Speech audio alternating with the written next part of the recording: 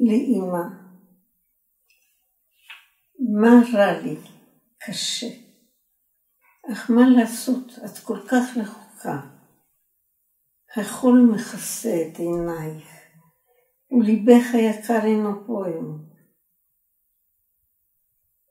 מדוע כה הקפת לי והותרת אותי לבדי? בקרב אנשים זרים עליי להתענות לבדי. אך ודאי תראי אותי מן השמיים, וסבל נוסף תמנעי ממני. וכאשר לילה במחנה ודממה מסביב, מן השמיים תרדי אליי.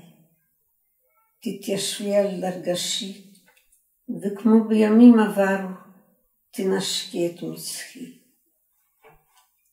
את השעות, את הדקות אני מונה לקראת פגישה כה נפלאה, כה מרנינה, וכה יהיה לי, קל ונעים בנשמתי.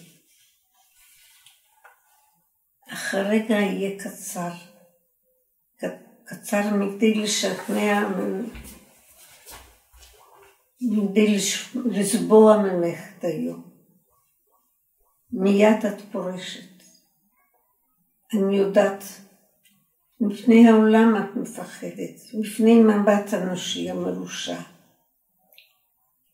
אני מסתתרת מתחת לשמיכה ומבקשת מזור. הרי לילה כה נפלא מעורר את הכאב ביתר שאת.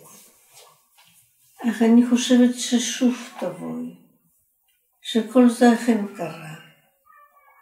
voy, voy, Ima, voy a Jehová a ti.